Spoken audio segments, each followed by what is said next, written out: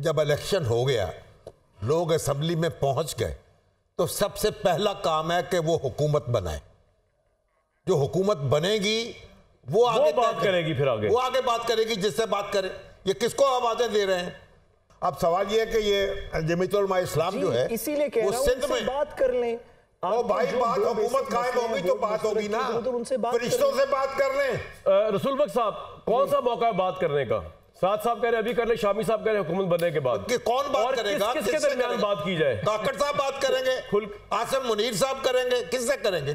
Sir army chief का ये calibre नहीं है कि तो वो पॉलिटिशियन से तो बात आप करें। हुकूमत तो बनने और हम उनको करने भी नहीं देंगे उनका तो बहुत स्टेचर है। अच्छा। हाँ ये बाकी के लोग करेंगे आपस में। जो कर रहे हैं गुमाश्ते मुबारक हो आपको। सियासी गुमाश्ते जी सर। उन्होंने तो बड़ा अच्छा इलेक्शन करवा दिया और उनको हम मुबारकबाद देते हैं जी। जिस वक्त में डिवाइडेड मैंडेट सियासी बात करें में। सियासी बात करें। कौन बात करे? किससे बात करे? वो रसूल बख्श साहब रसूल बख्श साहब। नजम तो कायम होने दे मुल्क में। नजम कायम करो जी नजम कैसे कायम होगा रसूल साहब? भाईजान जिस वक्त डिवाइडेड मैंडेट आता है जिस तरह से आया है तो सियासी जमातों के दरमियान में मजाकरात होते हैं कि हुकूमत कैसे बनेगी कौन बनाएगा किसके दरमियान में गौहर साहब से बात होनी चाहिए अभी पीएमएलएन की। ठीक है अगर अगर पीटीआई से कोई बात नहीं करना चाहता तो बेशक ना करें लेकिन वो अपने तौर पे हुकूमत बना सकते हैं तो आपस में बात करेंगे। इस वक्त पीडीएम की जो जमातें हैं वो नहीं सर सवाल ये उठ रहा है डिबेट ये हो रही है कि इस मौके पे मुल्क के जो हालात हैं जो मैंडेट आया है जो दादरसी की ज़रूरत है उसके अंदर क्या पाकिस्तान तहरीक इंसाफ की जो जेल से बाहर की आदत है उसके दरमियान और नवाज़ शरीफ साहब के दरमियान मुजाकर होने चाहिए या नहीं? बिल्कुल होने चाहिए। ताकि शामी साहब कह रहे हैं हुकूमत के बाद होने चाहिए। नहीं नहीं आप दोनों से कहें बातचीत करें। अभी अभी। आ, हो अभी करने में क्या एतराज़ है? अगर दोनों चाहते हैं तो कर लेंगे। मगर ना जो हुकूमत बनाएगा वो दूसरे से बात कर लेगा। बात बात के लिए हमेशा सियासत में दरवाजे खुले होते हैं। बातचीत होनी चाहिए। इस वक्त ये मसला ना पीटीआई का है ना नवाज़ शरीफ साहब का मुस्लिम लीग नून का है ना पीपल्स पार्टी का है। आप ये 24 करोड़ आवाम को भी तो देखें कि मुल्क के हालात को भी देखें। इलाकई इस वक्त जो सलामती और अमन के मसाइल हैं दहशत गर्दी है इकानमी है उसको भी देखें। ये हम साथ power struggle power struggle power अगर ये पावर स्ट्रगल ये साल साल से दहाइयों से चलती रहे तो पाकिस्तान को वहाँ पे ले सर आइए इसमें जो है। सबसे बड़ी ज़िम्मेदारी फिक्स करनी चाहिए वो पीएमएलएन पे। क्यों नहीं वफाक की सबसे बड़ी पार्टी बन के वो उभरी? जब सारे मौके मिले हुए थे क्यों स्टेबल मैंडेट नहीं लिया उसने। उनको गिरबान से पकड़े ना। वो आप मुझसे क्यों सवाल कर रहे हैं? क्यों नहीं उन्होंने नंबर वन पार्टी बनी? मैंने मैंने आपसे भाई इतना कुछ कर दिया उनके लिए भाई। वो करने वाले भी परेशान है कि यार तुम कितने थके हुए लोग हो कि तुम्हारे लिए सब कुछ कर दिया। फिर भी अवाम का मैंडेट नहीं मिला अवाम की मोहब्बत नहीं मिली और वो जो कह रहे थे ना जख्म लग गए इस कौम को। नहीं भाई जख्म तो आपको लगे हैं। मैंडेट मिला किसको है? उसका नाम ले। पीटीआई को मिला मिला है? इंडिपेंडेंस को मिला। आप तीन हरफ भेजे पीटीआई पे। इंडिपेंडेंस को मिला ये और शर्मिंदगी की बात है पीएमएलएन और पीपल्स पार्टी के लिए। उनकी मेजोरिटी है। किसकी? हुकूमत बनाए फिर। ओ नहीं नहीं सर हुकूमत क्या तो- बात हुई? हुकूमत बनाना एक और बात है। असेंबली के इंतखाब क्यों कराया आपने? शामी साहब हुकूमत बनाना तो हम उस पर आपसे डिस्कशन कर रहे हैं ना। अभी जो इलेक्शन का रिज़ल्ट आया उसमें तो पीएमएलएन का को मैंडेट मिला ही नहीं ना हुकूमत बनाने का। किसको मिला है? किसी को भी नहीं मिला आप- पार्टी को। असेंबली- पीएमएलएन को नहीं मिला। असेंबली का इजलास सर पीएम हाँ आप बताएँ किसको मिला है? वो मिल जाएगा। कैसे मिला पीएमएल पीटीआई को मिल गया इंडिपेंडेंट जी मिला। उसको कौन बनाए हुकूमत वो बना नहीं सकते ना नहीं बना सकते? सर नहीं बना सकते। जब मैंडेट मिल गया, जैसे मैं आपको आपको उसकी मिसाल हूँ। सर सुन तो ले। जो खत्ते वापस सर कर रहे सुन तो ले सर। एक मिनट भाई पास 134 साहब सीट शामी साहब की इस बात को सर देखें। मेजोरिटी है। 2018 में पीएमएलएन को मैंडेट मिला था पंजाब से हुकूमत बनाने का। एक सौ उनतीस उनकी थी। पीटीआई की 122 थी। मैं तो उस तरह चल रहा हूँ जो कोई मैंडेट नहीं मिला था। सर एक सौ उनतीस उनको ही मिला था। उनके पास मेजोरिटी नहीं थी। थी मेजोरिटी नहीं थी। Sir general single- sir general direct election में जीते हुए थे। मेजोरिटी नहीं थी। सर पीएमएलएन नहीं, पंजाब से। गलत बात है। मतलब single largest party largest party यही कह रहा हूँ आपसे मैं। भाई कमाल कर रहे हैं। एक सौ उनतीस थे ना। आप एक बात सुनिए। आप हजूर इतने बड़े माशाल्लाह आपने एमफिल किया हुआ है लंदन से।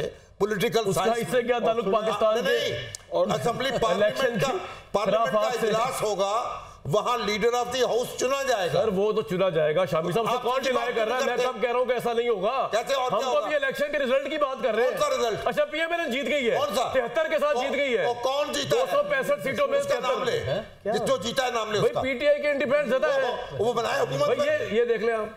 दुनिया की आज हेडलाइन है। छियानवे आज़ाद सत्तर नून लीग तो कौन जीता? जो नंबर टू पे है वो तो नहीं जीता। सत्तर जमा तिरपन जितने हुए ये तो ट्रेजडी है कि आज़ाद जीत गए। ओ भाई हुकूमत बनाए फिर ना। हुकूमत जब बनाएँगे वो सर ये वो दूसरा मामला होता है। ऐसी है। हुकूमत बनाना मरला डिफरेंट है। उसके डायनामिक्स ही डिफरेंट है पाकिस्तान में। जीता ये है- कोई इंग्लैंड थोड़ी है कि लेबर जीत गई तो हुकूमत उनकी होगी। कोई जीता है तो हुकूमत बनाए। हाँ जी। अस्करी साहब। मैं कह आगे चले इस पे पॉइंट पे ना फंस जाए। शामी साहब ने फंसा दिया ना इस पॉइंट और पे। आपने बताया कि मैंने बताया मैंने तो मैंने तो इतनी सी गुस्ताखी पीएमएलएन को। बदतरीन शिकस्त हुई है तमाम तरह लॉजिस्टिक्स के बावजूद जिसको हुई है। वो जीत गए, और इतनी बदतरीन हुई कि आजादों से हुई है।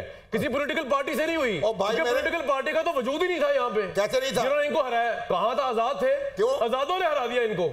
ये तारीख बनी है सर। आप उनको कहें हुकूमत बना ले। हुकूमत ना भी बनाए सर। नहीं बनाए? हार तो गए ना। गए ना। कैसे हार गए? अवाम के मैंडेट में तो हारे। हैं ऐसे ही बात है, अब आप डिनाई किस कर सकते हैं? ये two plus two equal to four है। हाँ। आप कह रहे हैं नहीं ये एट है पीएमएलएन के लिए वो तो नहीं हो सकता। आप कर रहे हैं ये काम। भट्टी साहब आ जाए आप शामी साहब। जगह बैठ जाएँ। शामी साहब को तो मैं इससे रिस्पॉन्ड नहीं कर सकता। कमाल है। जितना कर सकता था कर दिया। अब आप मैदान में आए। भाई कौन जीता है? हमें तो आज रिज़ल्ट में डाउट हो गया शामी साहब के पैरामीटर से अगर देखा जाए उनके पास जाने से पहले ये बता दें। आपको क्या नंबर्स अभी कौन से हुकूमत बनाने के लिए कितने नंबर्स हैं इस वक्त आज के 265 सीट्स के अंदर नंबर्स क्या हैं? मैं तो उधर जा ही नहीं रहा। अब पीएमएलएन हार गई इलेक्शन में ये बात कह रहा हूँ सर। ये जवाब है यार। जी जी बताएँ। दोनों ही उठ के नंबर आपका अपना मौक़िफ़ है, मेरा अपना। जो 265 है 133 का नंबर है। 134 चाहिए सर उसके बाद आपकी बात किसके पास है? किसी के पास भी नहीं है। बात। तो उसके ओहो सर मेरी बात सुने। मेरी बात मेरी बात सुने? वजारत आला का इंतखाब होता है सिंपल मेजोरिटी पे। सुन लेना सर सुन- सुन लेना। भाई कोई सिंपल सर सुन पार्लियामेंट का इजलास होगा। हमारे दस्तूर के मुताबिक उसमें लीडर ऑफ़ द हाउस चुना जाएगा। एक मिनट सर। आप मैं मैं मैं दोबारा उसी बात पे जाऊँगा आज़म को चुने। सर एक तो बात सुन लें पहले राउंड में अगर आपकी सिंपल मेजोरिटी ना हो तो फिर दूसरे राउंड में देखा जाता है कि। हाउस में किसकी मेजोरिटी है। तो वो पीएमएलएन की नहीं है। मैं उसमें इतना कह रहा हूँ आप इसमें इजलास पता नहीं बुलाएँ। क्यों। मेरा नहीं इजलास बुलाएँ। भट्टी साहब हाँ, है। इजलास बुला के ये साबित होगा कि पीएमएलएन हारी है ये इलेक्शन तो जो है, जो जीतेगा सवाल तो- हुकूमत बना लेगा। सवाल तो कर लूँ। इसका ऐसा भट्टी साहब। ये आवाज़ आ रही है आपको? क्या इजलास बुला के साबित होगा कि इलेक्शन का रिज़ल्ट क्या है? कि, कि इजलास की डायनामिक्स डिफरेंट है? जनाब।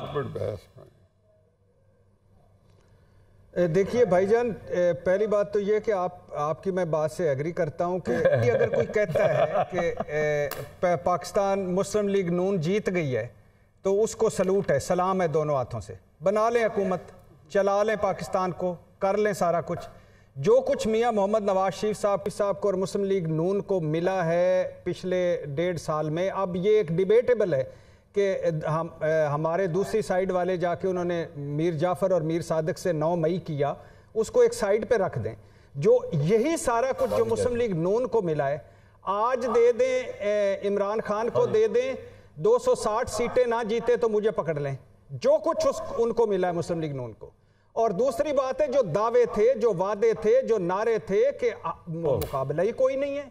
खत्म हो गए फिनिश हो गए फितने थे दहशत। दहशतगर्द थे ये तो सियासी लोग ही नहीं थे। जो तो परसेंट इमरान खान साहब कह रहे हैं कि मेरे पास परसेंट है। इक़्तिदार से निकलेगा।